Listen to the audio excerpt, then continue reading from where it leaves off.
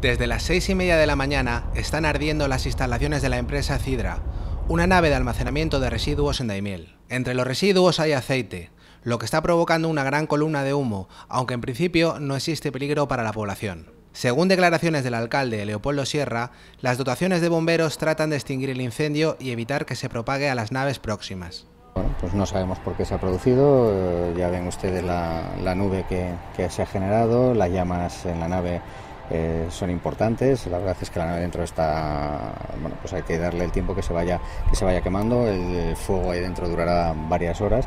Pero bueno, las unidades lo que pretenden y lo que se me ha dicho es mm, intentar que evidentemente no, no, se, no, no, se propague porque como podrán todos conocer las, fincas, las, las, empresas de al lado pues están muy próximas. El consejo que se puede, que se puede transmitir es que no se abran las ventanas para evitar que, que si el humo fuese para la localidad pues que, que pase a las, a las viviendas. Mm, ahora mismo la situación yo creo sinceramente que está, está bastante controlada.